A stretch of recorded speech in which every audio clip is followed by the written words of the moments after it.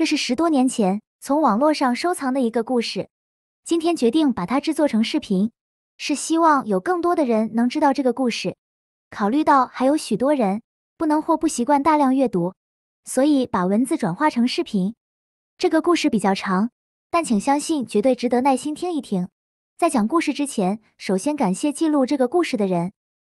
解放前有一个师傅，在很小的时候，他父亲就去世了。那时候他三四岁，由母亲带着。过去的妇女干活不行，没力量，没办法，就带着孩子去讨饭。后来住到一个农村，邻居是杀猪的，这个孩子每天在那里看怎么杀猪。有一天，他就弄了一块泥巴，做了一个小猪，拿了一根小木棒当做刀，放在板凳上去杀这头猪。他母亲一看就问：“你这是跟谁学的？”他说：“我看邻居家每天这么干的，我长大了也去杀猪。”他母亲一听，心想：糟了，才三四岁，见什么马上就学会了，学着杀生害命不是一件好事。怎么办？干脆搬家吧。搬到什么地方能使孩子学好呢？这个母亲一想，干脆搬到寺院附近去住吧。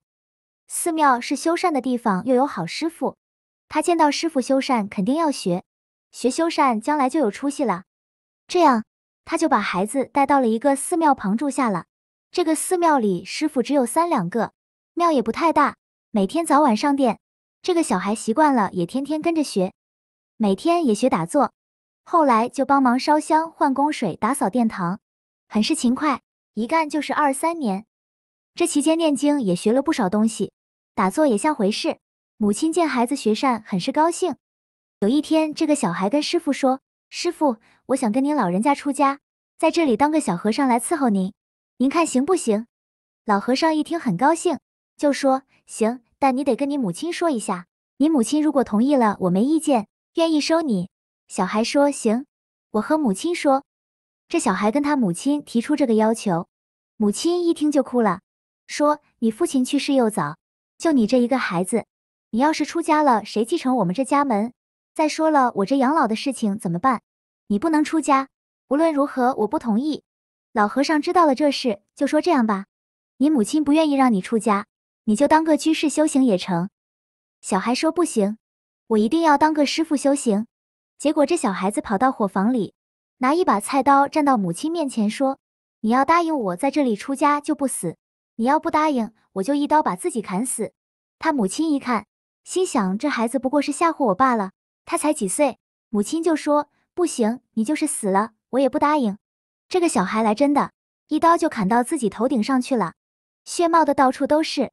母亲慌了，急忙去找师傅，师傅您赶快救命，您把他救好了，就让他出家给您做个小徒弟吧。老师傅很慈悲，上前把刀取下来，抓了把香灰往头上一按，就不冒血了。就这样，小孩出家了，他的母亲就不能在这里住了。自己讨饭去了。从此，这个小和尚跟老和尚在庙里修行。别看他人小，确实勇猛精进。有时候因为小庙里生活不太富裕，给人家念念佛、做做法事，搞一些生活门路，也可以很好的弘扬佛法。有一次做法事，把法器丢在了一个很远的地方。师傅回来才想起来，哎呀，明天还有一堂佛事，这法器取不回，明天如何去做？老和尚着急了。一个师叔，一个师兄，两个人在那里商量。小和尚在一边听了，就跟师傅说：“师傅，您不是取法器吗？我有办法，决定不耽误明天做法事。但是有一件事情，你得答应我。”他师叔一听，小孩子顽皮啊，你有什么办法跟我说说？有什么事情我答应你。小和尚说：“你看我现在连个长衫也没有，上殿拜佛好像对佛也不恭敬。我没有别的要求，只给我做个大褂就行了。”他的师傅就说：“你能把法器取回来，我就答应你。”小和尚说：“师傅空口无凭。”后来老和尚取了一锭银子，交给了他师叔：“你给做保管，他能取回来，就拿这个钱给他做个大褂。”小和尚很欢喜，跑到了佛堂里，点了蜡，上了香，搬了一个蒲团，一个人把门一关就打坐了。就这么一打坐，一支香才着了一半，几种法器自动就回来了。师傅一看。这徒弟不是一般的人了，已经是超凡入圣了，就恭恭敬敬把这个住持的位子让给他，因为他这是开了大智慧了，有神通。别看人小，他担当得起。这一当住持，经常开坛讲经，招来了十方信众，小庙很快就发扬光大。庙里面常住的师傅居士们就很多了。几年后，他母亲年纪大了，讨饭自己也走不了路了，在很远的地方，他就知道儿子现在当了庙里的方丈，这个庙也很有钱，他就自己想，庙里这么多人居住，也不缺我一口吃的，回去找儿子吧。他是慈悲的。老太太这就回来了，这庙已经大不一样了，庙门开着，老太太想进去，守门的僧人拦住她，问老施主，您从哪来？做什么事？老太太说：“找我儿子，他在里面当方丈，并叫他儿子的乳名。这看门的小和尚也不知方丈过去的小名叫什么，就和老太太说：‘您稍等，我去请示一下方丈。’小和尚给方丈一顶礼，把经过一说，方丈一听，赶紧叫了进来。老太太一进就叫他的乳名，说：‘儿子，你现在很好了，可你的母亲现在没饭吃了，我实在是没办法了。’讨饭连路也走不动了，我来这里没别的要求，你每天能给我口饭吃，有个睡觉的地方就行了。方丈一听就说：“我是你儿子，你是我母亲，这是实实在在的。但你知道现在我住的这个地方是庙，寺院是十方大众修行的道场。我现在吃的饭不是我自己的，我也不种地，也不做买卖，这个饭是大众的供养，这供养我能吃。为什么我能吃？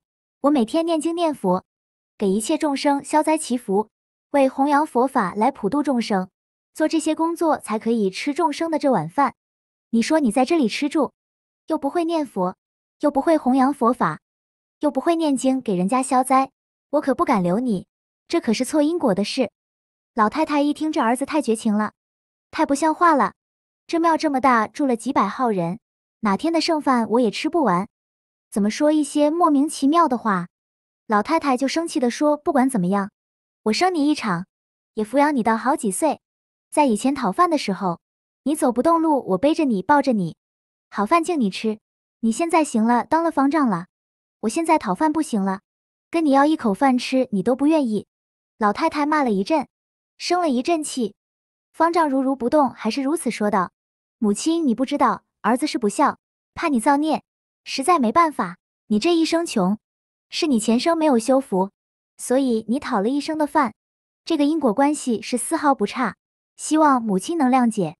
母亲看儿子一直这样说，但他对其中的因果关系不是十分明了。世上老百姓都只知道善有善报，恶有恶报，他不懂得这细节上的道理。哪里有儿子不给母亲饭吃的？后来母亲又跟儿子慢慢商量，那你说怎么办？我走不动路，总不能让我冻死、饿死、累死吧？你总得给我想个办法呀！他这么一说，儿子就开话了。办法不是没有，但就有那么一线小路。我怕你不同意，如果你同意了，就能办成；不同意就不行。母亲说：“你说吧，只要能给我口饭吃，叫我怎么办？能办得到我就办。”儿子说：“决定能办到，就看你办不办。你每天坚持念阿弥陀佛，心里只有一个念头，念阿弥陀佛，求生西方净土，这就行了。”你念一句阿弥陀佛，我给你一粒米。你一天只念了这一句，行了，你就吃这一粒米。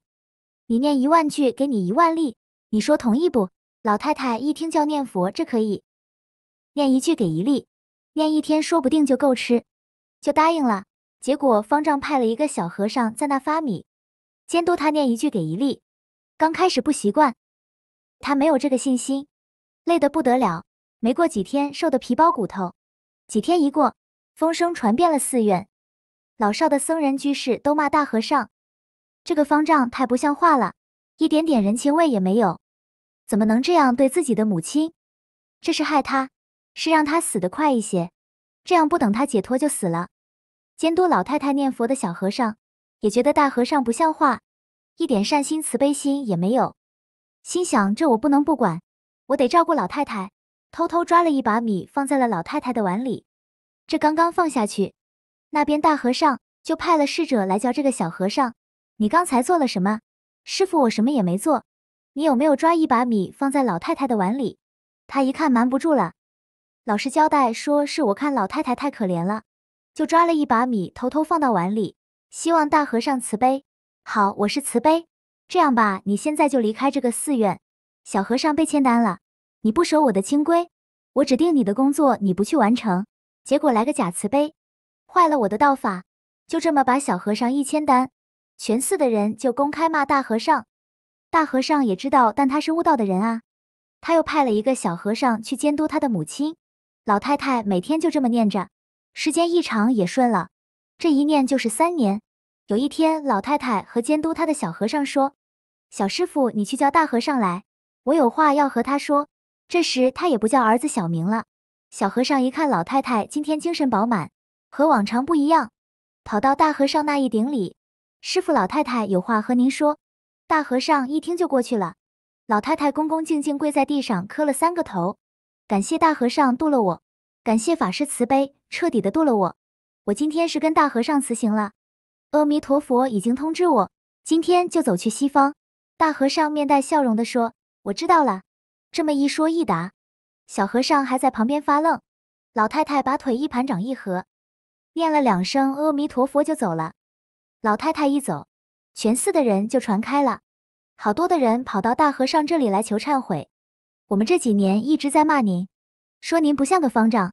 这一下我们才真正了解到，我们的方丈是大慈悲。不是一般的小慈悲，是真正的慈悲。